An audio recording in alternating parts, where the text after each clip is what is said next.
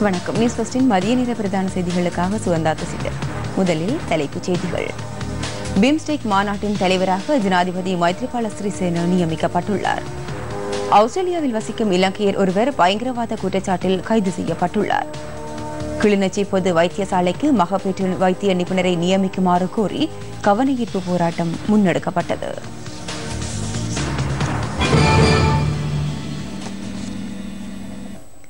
ஆஸ்திரேலியாவின் சிட்னி நகரில் பயங்கரவாத குற்றச்சாட்டில் இலங்கை பிரஜை ஒருவர் கைது செய்யப்பட்டுள்ளார். பயங்கரவாத தாக்குதல் தொடர்பான திட்டத்தின் ஆவணங்கள் சந்தேக நபரிடம் இருந்து கைப்பற்றப்பட்டுள்ளதாக ஆஸ்திரேலிய ஊடகங்கள் செய்தி வெளியிட்டுள்ளன. இருபத்தி ஐந்து வயதான குறித்த சந்தேக நபர் ஆஸ்திரேலிய பயங்கரவாத ஒழிப்பு போலீசாரால் நேற்று மாலை கைது செய்யப்பட்டுள்ளார். பல்கலைக்கழக ஊழியர் ஒருவரால் கிடைத்த தகவலுக்கு அமையவே சந்தேக நபர் கைது செய்யப்பட்டுள்ளார். தாக்குதல் மேற்கொள்வதற்கு இலக்கு வைத்துள்ள நபர்களின் பெயர்கள் இடங்கள் ஆகிய தகவல்கள் குறிப்பிடப்பட்ட புத்தகம் ஒன்று பல்கலைக்கழக ஊழியருக்கு கிடைத்துள்ளதாக ஆஸ்திரேலிய ஊடகங்கள் குறிப்பிட்டுள்ளன. நேற்று அதிகாலை முன்னெடுக்கப்பட்ட சோதனை நடவடிக்கையில் மேலும் பல மின் உபகரணங்கள் ஆஸ்திரேலிய போலீசாரால் கைப்பற்றப்பட்டுள்ளன. பயங்கரவாத தடுப்பு சட்டத்தின் பிரகாரம் குறித்த இலங்கை பிரஜை மீது வழக்கு பதிவு செய்யப்பட்டுள்ளதுடன் பிணை வழங்குவதற்கு மறுப்பு தெரிவிக்கப்பட்டுள்ளது. ஐஎஸ் அமைப்புடன் தொடர்புடையதாக தெரிவித்தே இலங்கை பிரஜை கைது செய்யப்பட்டுள்ளதாக ஆஸ்திரேலிய போலீசார் தெரிவிக்கின்றனர். பிம்ஸ்டெக் மாநாட்டின் தலைவராக ஜனாதிபதி மைத்ரிபால சிறிசேன நியமிக்கப்பட்டுள்ளார். வங்காள விரிகுடாவை அண்மித்த நாடுகளின் தொழில்நுட்பம் மற்றும் பொருளாதார ஒத்துழைப்பை அடிப்படையாக கொண்டு நான்காவது பிம்ஸ்டெக் மாநாடு நேபாளம் தலைநகர் காட்மண்டுவில் நடைபெறுகின்றது. Ilangai India Myanmar Bangladesh Bhutan Nepal Thailand ஆகிய ஏழு நாடுகள் இதில் பங்கேற்கின்றன. இதேவேளை போதைப்பொருள் கடத்தலுக்கு எதிராக உலக மக்கள் அனைத்து அரசாங்கங்களும் ஒன்றிணைந்து ஒத்துழைப்புடன் செயற்பட வேண்டும் என ஜனாதிபதி மைத்ரிபால சிறிசேன வலியுறுத்தியுள்ளார்.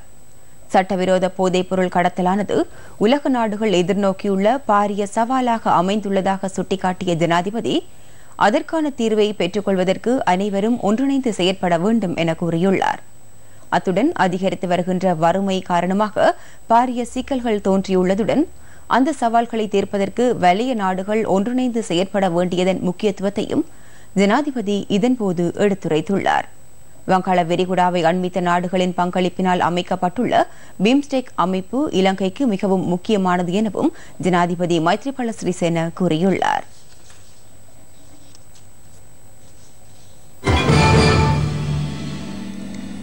கிளிநொச்சி மாவட்ட பொது வைத்தியசாலைக்கு மகப்பேற்று வைத்திய நிபுணரை நியமிக்குமாறு கோரி இன்று கவனஈர்ப்பு போராட்டம் ஒன்று முன்னெடுக்கப்பட்டது.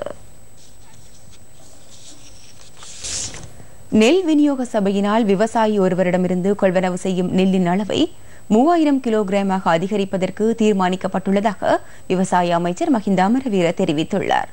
இதுவரை காலம் விவசாயி ஒருவரிடமிருந்து இரண்டாயிரம் கிலோகிராம் நெல் மாத்திரமே கொள்வனவு செய்யப்பட்டது. அம்பலாங்குட பகுதியில் நடைபெற்ற நிகழ்வொன்றில் கலந்து கொண்டு உரையாற்றும் போது அமைச்சர் மஹிந்த அமரவீர இந்த விடயம் தொடர்பில் தெளிவுபடுத்தியுள்ளார்.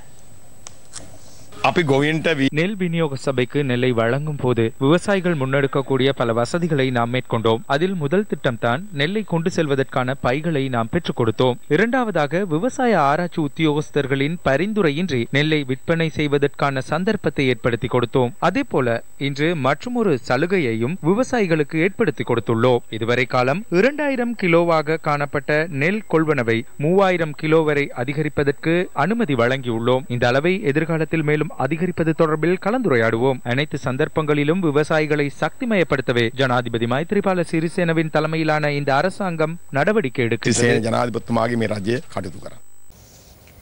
கிளிநொச்சி மாவட்ட பொது வைத்தியசாலைக்கு மகப்பேற்று வைத்திய நிபுணரை நியமிக்குமாறு கோரி இன்று கவனஈர்ப்பு போராட்டம் முன்னெடுக்கப்பட்டது. கிளிநொச்சி வைத்தியசாலைக்கு முன்பாக இன்று முற்பகல் கவனஈர்ப்பு போராட்டம் முன்னெடுக்கப்பட்டது. நோயாளர் நலன்புரி சங்கத்தின் ஏற்பாட்டில் கவனஈர்ப்பு போராட்டம் நடைபெற்றது. கர்ப்பிணி தாய்மார்கள் பொது நோயாளர் நலன்புரி சங்கத்தினர் உள்ளிட்ட பலர் கவனஈர்ப்பு போராட்டத்தில் கலந்து கொண்டனர். எங்களுக்கு இந்த கிளிநொச்சி ஹாஸ்பிட்டலில் மாங்குளம் மெல்லாபி ஒட்சுட்டான் எல்லா பகு பகுதி மக்களும் இங்கே தான் வாரம். அங்கேருந்து கஷ்டப்பட்டு இங்கே வர சந்தர்ப்பத்தில் அப்புறம் இங்கேருந்து மகப்பேற்று நிபுணர் இல்லாத காரணத்தால் இப்போ இங்கேருந்து திரும்ப மா மாஞ்சோலை யாழ்ப்பாணம் மண்டாயிரம் இப்போ எங்களுக்கு சரியான கஷ்டமாக இருக்குது. எங்களுக்கு இங்கே எந்த பிரச்சனை இல்லை. எங்களுக்கு முள்ளத்து யாழ்ப்பாணம் அங்கால போகிறண்டா சரியான கஷ்டம். எங்களுக்கு இந்த மாவட்டத்திலேயே அவரை போடுங்க. எங்களுக்கு கெட்பன் சம்பந்தமான சம்பந்தமான டாக்டர்மார் தான் வேணும் ஏன்னா மற்ற டாக்டர்மார் பார்க்குறேன்டா கஷ்டம் சம்பவம் தொடர்பில் ஆராய்வதற்காக கவனஈர்ப்பு போராட்டம் நடைபெற்ற இடத்திற்கு வடமாகாண சுகாதார அமைச்சர் டாக்டர் ஞா குணசீலன் வருகை தந்திருந்தார் இதன்போது வடமாகாண சுகாதார அமைச்சரிடம் ஆர்ப்பாட்டத்தில் ஈடுபட்ட மக்கள் மகஜர் ஒன்றையும் கையளித்தனர் வைத்திய நிபுணர்களினுடைய நியமனம் வந்து ஒரு ஒழுங்கான முறையில் மேற்கொள்ளப்படுவதில்லை ஒரு ஒழுங்கான இடமாற்றம் அல்லது நியமனம் தொடர்பான கொள்கை மத்திய சுகாதார அமைச்சில் பின்பற்றப்படவில்லை என்பதுதான் உண்மை. இது சம்பந்தமாக கடந்த ஒரு மூன்று வாரங்களுக்கு முன்பு மத்திய சுகாதார அமைச்சர் வைத்திய கலாநிதி ராஜித சேனாரட்ன அவரிடம் நேரடியாகவே இந்த விடயம் தெரியப்படுத்தப்பட்டிருக்கிறது. சம்பந்தமான உடனடி நடவடிக்கை எடுக்க வேண்டும் என்பதற்காக மாகாண லெவ- அளவில் எங்களுடைய சுகாதார அமைச்சு வேண்டிய நடவடிக்கைகளை எடுக்கும்.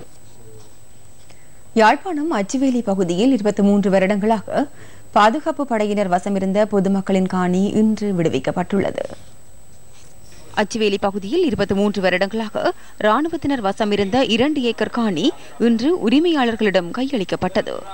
கடந்த ஜூன் மாதம் ஒன்று தசம் ஐந்து ஏக்கர் காணி பகுதியளவில் விடுவிக்கப்பட்ட நிலையில் மீதம் இருந்த இரண்டு ஏக்கர் காணி இன்று உரிமையாளர்களிடம் ஒப்படைக்கப்பட்டுள்ளது. வானக்கூரையின் கீழ் வாழும் வடக்கு கிழக்கு மலையக மக்களுக்கு வீடு வழங்கும் மாபெரும் போட்டி தொடரும். வீடற்ற விடியாத இரவுகள். நியூஸ் ஃபர்ஸ்ட் பிரதான செய்திகள். நாள்தோறும் இரவு எட்டு மணிக்கு. கடவத்தை ரன்முதுகல பகுதியில் பெண்ணொருவரை இலக்கு வைத்து மேற்கொள்ளப்பட்ட துப்பாக்கிச் சூட்டு சம்பவம் தொடர்பில் ஒருவர் கைது செய்யப்பட்டுள்ளார். வியகம பகுதியில் வேலியகுட குற்றத்தடுப்பு பிரிவினரால் சந்தேக நபர் கைது செய்யப்பட்டுள்ளார். இருபத்தி ஆறு வயதான இளைஞனே சம்பவம் தொடர்பில் கைது செய்யப்பட்டுள்ளதாக போலீசார் தெரிவித்தனர். குறித்த இளைஞன் போதைப் பொருளுக்கு அடிமையானவர் என்பது தெரிய வந்துள்ளதாகவும் போலீசார் மேலும் குறிப்பிட்டுள்ளனர். சிறைச்சாலையில் தண்டனை அனுபவித்து வரும் கோத அசங்க என்னும் நபரே இந்த கொலையை திட்டமிட்டுள்ளதாக தெரிய வந்துள்ளது சம்பவம் தொடர்பில் மேலும் இருவரை கைது செய்வதற்கான விசாரணைகள் முன்னெடுக்கப்பட்டு வருவதாக போலீசார் மேலும் குறிப்பிட்டுள்ளனர். கடந்த ஏழாம் திகதி கடவத்த ரன்முத்துக்கல பகுதியில் இடம்பெற்ற துப்பாக்கி பிரயோகத்தில் பெண்ணொருவர் உயிரிழந்திருந்தார். சம்பவம் தொடர்பில் கைது செய்யப்பட்ட சந்தேக நபரை இன்று மகர நீதிமன்றத்தில் ஆஜர்படுத்த நடவடிக்கை எடுக்கப்பட்டுள்ளது. மக்கள் சக்தி இல்லங்கள் தோறும் செயற்திட்டத்தின் மூன்றாம் கட்டத்தின் நான்காம் நாள் இன்றாகும். ஆறு குழுக்கள் மூன்று மாவட்டங்களின் பல பகுதிகளுக்கு சென்று மக்களின் பிரச்சினைகள் தொடர்பில் ஆராய்ந்து வருகின்றனர். அம்பாறை மாவட்டத்திற்கு சென்றுள்ள எமது மக்கள் சக்தியின் ஒரு குழுவினர் அங்குள்ள மக்களின் பிரச்சினைகளை கேட்டறிந்து கொண்டனர். மலையார்கட்டு மக்கள் யானை பிரச்சினை மற்றும் விவசாயத்திற்கு நீரின்மை போன்ற பிரச்சினைகளை எதிர்நோக்குகின்றனர். இந்த கிராமத்தில் இன்று காலை யானை தாக்கி பதினெட்டு வயதுடைய யுவதியொருவர் உயிரிழந்துள்ளார்.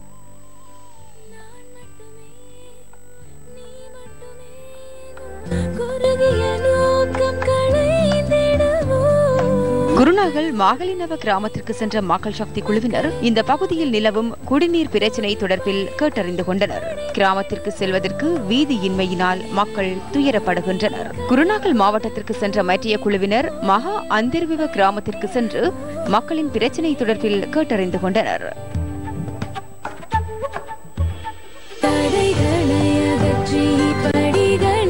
நீரின்மையினால் ஹம்பாந்தோட்டை சிறிபோபுர கிராம மக்கள் பாதிக்கப்பட்டுள்ளனர். மக்கள் தமது பிரச்சினைகளை மக்கள் சக்தி குழுவினருக்கு வெளிப்படுத்தினர். மிககள் வெவ கிராம மக்கள் யானைகளின் அச்சுறுத்தலுக்கு மத்தியில் வாழ்ந்து வருகின்றனர். யாழ தேசிய சரணாலயம் நாளை முதல் இரண்டு மாதங்களுக்கு மூடப்படவுள்ளது. நிலவுகின்ற வறட்சியான காலநிலை மற்றும் வனவிலங்குகளின் பாதுகாப்பிற்காக இந்த நடவடிக்கை எடுக்கப்பட்டுள்ளது. இந்த காலப்பகுதியில் சுற்றுலா விடுதி புனர் நிர்மாணம் செய்தல் மற்றும் அடிப்படை வசதிகளை மேம்படுத்துதல் உள்ளிட்ட நடவடிக்கைகள் முன்னெடுக்கப்பட உள்ளதாக வன ஜீவராசிகள் திணைக்களத்தின் பணிப்பாளர் நாயகம் சந்தன சூரிய பண்டார குறிப்பிட்டார். யாழ தேசிய சரணாலயம் எதிர்வரும் நவம்பர் மாதம் முதலாம் திகதியிலிருந்து சுற்றுலா பயணிகளுக்காக மீண்டும் திறக்கப்பட உள்ளதாகவும் அவர் மேலும் குறிப்பிட்டார். நிலவும் வறட்சியுடனான வானிலையால் ரஜரட்ட பல்கலைக்கழகத்தின் மிகுந்தலை வளாகத்தை காலவரையறையின்றி மூடுவதற்கு பல்கலைக்கழக நிர்வாணம் தீர்வா நிர்வாகம் தீர்மானித்துள்ளது.